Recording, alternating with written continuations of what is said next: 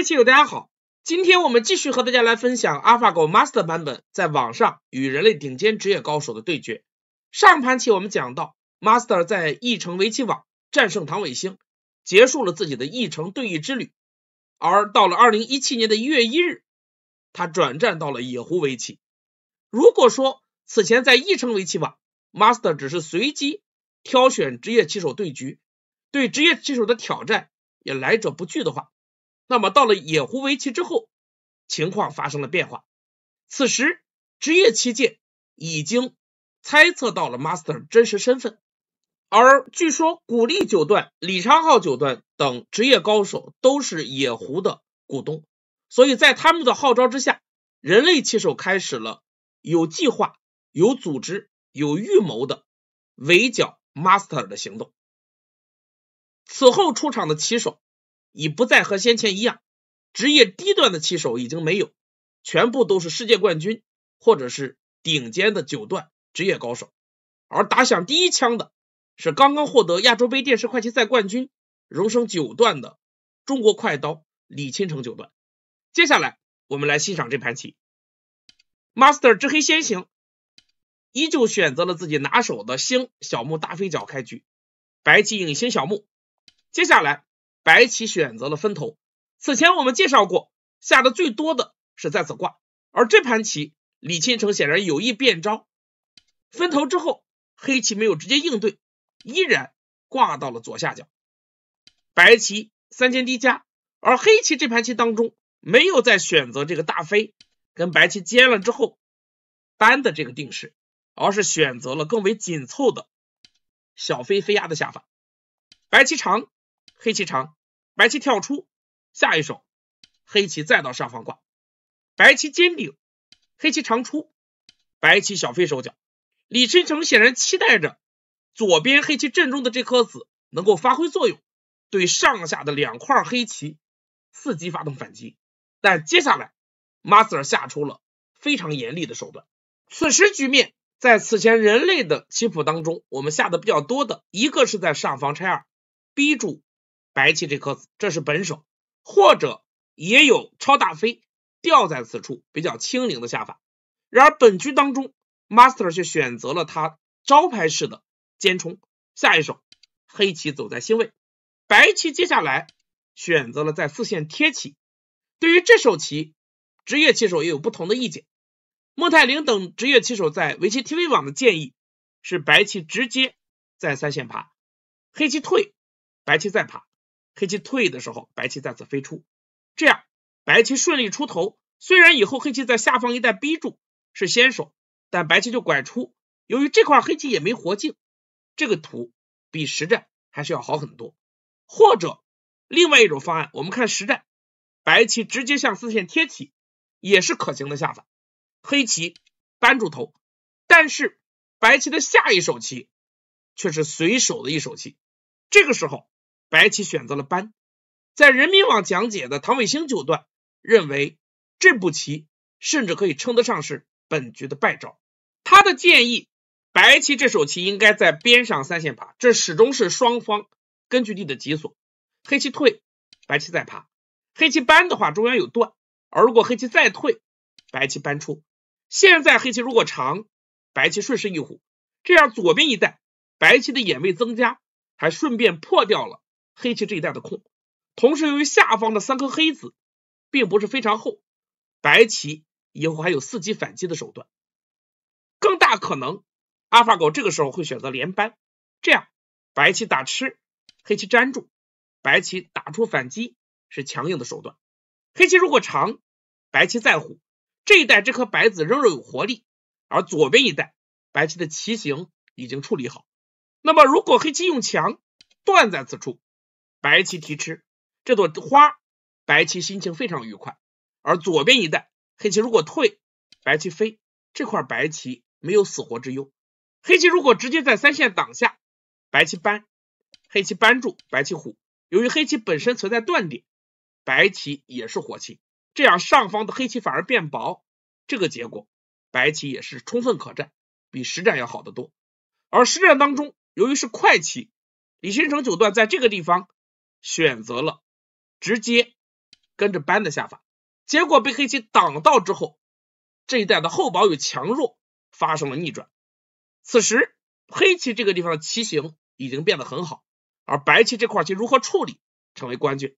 但接下来李钦成的打吃又是问题手，或许是慑于阿尔法狗的威名，在快棋赛当中战绩极佳、棋感卓越的李钦成九段，本局却连续出错。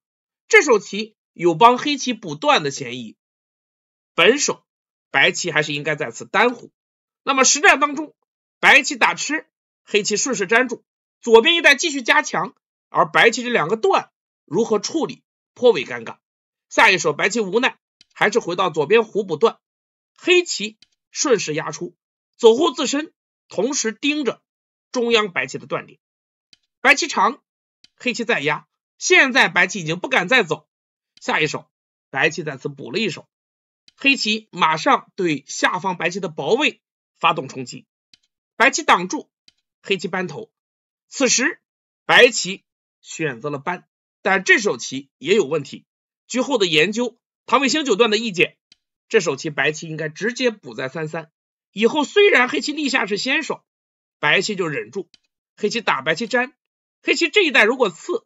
白棋就补一手，接下来黑棋飞补断，这样黑棋在下方一带自然是收获巨大，但是白棋中央也得到了补强。虽然是黑棋优势，但棋局依然漫长。然而实战当中，白棋在二路的这手扳遭到了黑棋强硬的反击。下一手棋黑棋靠近三三，由于这个地方断点加之气紧的缘故，白棋无力反抗，只好弯在二线忍耐。但这样一来，黑棋已经先受便宜，接下来再跳，继续威胁中央的断点。现在白棋的本手还是应该在此补一手，但是李清城九段担心，即使补在此处，以后黑棋点这一带的棋形还是不充分，而且现在黑棋在角上挡住，或者是在边上连扳，这个脚步的白棋还要遭到黑棋的搜刮，所以实战当中他心一横，直接在此冲。将脚部的这颗子吃住，先拿住脚部的目数，但是中央的断点却彻底暴露出来。下一手，黑棋直接断了上去，白棋打吃，黑棋长出，白棋打，黑棋就长，这个断必须要补。白棋粘住的时候，黑棋再断上去，这一带白棋左边这块棋被攻的是惨不忍睹。下一手，白棋打吃是必然一手，黑棋长出。白棋在压的时候，黑棋虎在星位，又是攻守兼备的好棋。补住这个断点的同时，依然威胁白棋左边的断以及外面的出路。白棋正好再回到左边补断。那么我们看这个棋形，黑棋的这个虎让上方白棋粘变成鱼形，同时白棋的这个挡也成为了鱼形。对于顶尖职业高手而言，这块白棋的棋形简直是惨不忍睹。下一手，黑棋。淡定长出，白棋再贴，黑棋再长，白棋也只好跟着往外跑。接下来黑棋顺势虎下，这一连串的手段，白棋没有丝毫反抗的余地。现在黑棋中央急剧变厚，形成了一道庞大的外势，而下方一带黑棋也拿住了目数，脚上还留有断吃的大官子。同时，白棋这块棋既缺乏眼位，又没有目数，犹如一块肉饼被两个馍。夹在了中间，苦不堪言。下一手，白棋扳反击，黑棋厚实的回到中央补棋。白棋再长，黑棋跳补，继续加厚中央。而白棋依然受制于这个断点，不得已在此正补了一手。但从这手棋开始，阿尔法狗开始收兵了。下一手，黑棋先手刺，白棋粘住，然后黑棋并在星位补住脚步的缺陷。现在我们来判断一下形势，白棋的左下角十二目左右，左上角十三目强，两块加起来大概二十五目。而除此之外，全局白棋再没有目数，而且发展的潜力也已经不大。这条大龙到底是死是活，现在都还不确定。而黑棋仅是下边以及右下角这一带，已经和白棋全盘的目数相当。右上角黑棋还有一个星位。更可怕的是，在左边中央这一带，黑棋不仅有空，还有巨大的潜力。所以现在黑棋形势大优，白棋李钦成也开始拼命。下一手，白棋再次挂，黑棋依旧淡定的小飞手脚，白棋跳起，限制黑棋中央势力的发挥。现在黑棋的悬点很多，比如说眼见的在上方一带拆边，以及继续围中央，比如在此尖冲等等的一些构思。然而实战当中，Master 却下了一步看上去很小的棋，他在下方这一带补了一手。这手棋虽然对下方围控有帮助，但看起来总有缓招的嫌疑。然而实际上这手棋四小时大。我们继续往下欣赏下一手，白棋在右边拆，继续抢控。黑棋先在上方碰，黑棋的策略也很明确，现在只要限制白棋的空增加就可以。白棋搬，黑棋退，白棋立下，黑棋再次拐头，这一带黑棋的潜力反而增加。白棋跳起，黑棋下一手先尖，白棋立下手控，黑棋打吃先手，白棋粘住，然后黑棋压在此处，就是跟此前这步顶。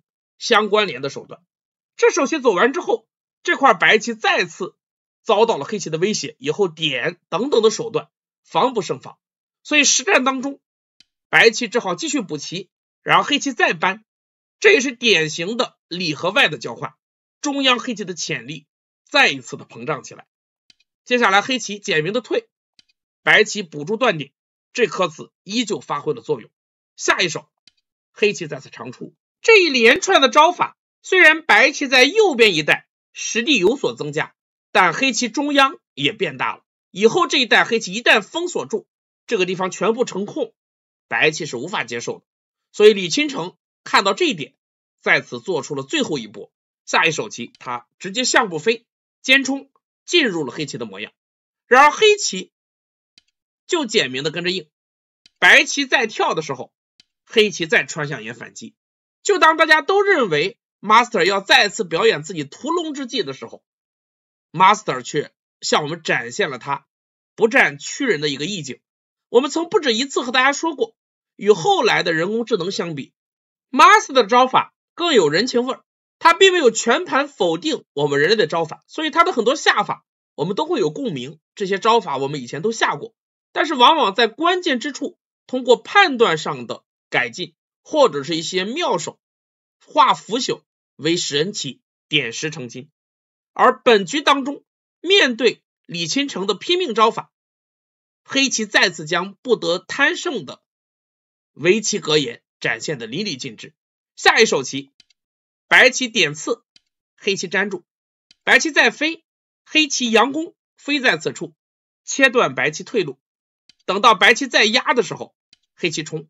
白棋跳增加眼位，黑棋就双住，似乎对白棋破掉原本庞大的黑棋中腹的潜力视而不见。而接下来白棋继续点方活棋，黑棋点，白棋靠，黑棋退。下一手白棋顶住的时候，黑棋就直接在左边补了一手，连回这几颗子。而白棋抓住机会，接下来在这一带连续施展手筋，增加眼位。但黑棋就全部简明的跟着应，一点反击杀棋的意思都没有。下一手白棋挡住这块棋已经初具活性，Master 竟然连搜刮白棋的想法都没有，就简明的挡在右上角收官。之前看似庞大的黑棋中腹的潜力，黑棋说弃就弃掉了。明月看到此处也不禁想起之前给大家介绍的十番棋吴大师对燕京准一的最后一局，吴大师的七取灵活。跟 Master 的这个构思有异曲同工之妙，而接下来白棋继续抢控，黑棋全部跟着应住。下一手白棋粘，黑棋就挡住，白棋再飞下，黑棋立下收官。白棋挡，黑棋把先手都走掉，不再保留。白棋补棋，黑棋再次飞，这是此前中央变后之后的权利。白棋并住联络，黑棋扳吃下方这颗子。